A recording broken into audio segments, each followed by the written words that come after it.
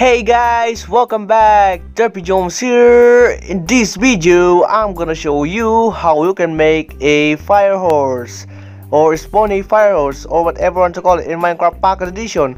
And yes, welcome back to my office. It's been a while since I made a command block video. So yes, I mean I am back. So actually I I will put down the link in the description for this download link of my office and of my texture pack and it is a DJ HD so Derpy Jhomes HD I just called it like that and then I am in the latest beta right now which is 1.5.0.7 you can download link in the description too. I mean you can download it in the description too rather. So yes please follow me on instagram so or chat me right there and like me like my facebook page. So as you can see the screen right now and before we start the video make sure to give this video a like.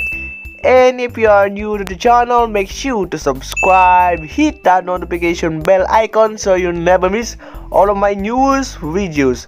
So let's get started and i'm gonna go into my building station right here right over here rather. So as you can see it said building station. So there you go. Consider subscribing and we have here things you will need and we have in the magic chest and we, first one we need a command block spawn horse saddle anvil and a name tag. So of course we just need this horse to get the fire horse.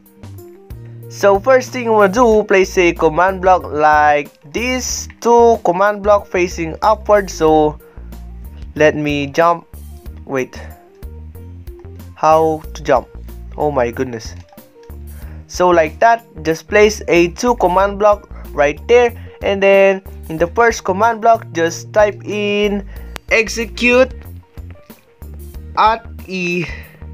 And then open brackets name is equal to A. So there you go. And then close brackets and then tilde tilde tilde. Just type this squiggly line so fill and then tilde tilde tilde tilde tilde another one tilde. So is equal to 6 we have 6 tildes and then set this to fire. I mean type in to fire and then leave it right there. So the next one is to effect at E open brackets and then name is equal to A of course. So close brackets and then fire wait fire underscore resistance.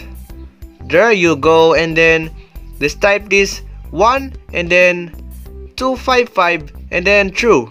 So there you go that's all the command and then set this to chain and always active. So leave it right there. As you can see it will turn into green and then next thing you want to do just of course just spawn the horse and then just ride and I mean tame it for couple tries so as you can see it will fall you down. So there you go. As, as you can see do you see did you see that? We have the hard particle and then next you want to do just sneak like this just sneak or crouch something like that. So and then just click on the horse and you will and then place the saddle. And as you can see we have now in saddle in the horse. So there you go. And then just spawn a anvil and then rename the name tag into letter A that we place in the command block itself. So like that. So there you go. Where's the horse? So just rename this and you will see it letter A or whatever you want to call it. You can name it horsey horsong whatever you want to call it. So and then next one just set this to repeat and then always active. So there you go. Oh my gosh. So you can ride now the horse and boom. Oh my goodness. So you can now control the horse. Oh my gosh, we have a fire horse in Minecraft Pocket Edition and it is very cool, right?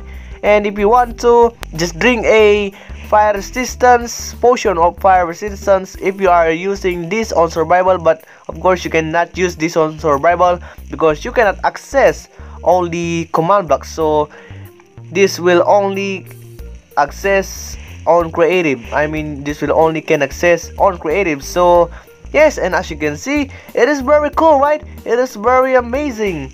And i like it a lot. I like it. So yes i think that's it for the video for today. I hope you like it. I hope you enjoy. Please leave a like and subscribe. Stay tuned with my newest videos. Alright guys. Peace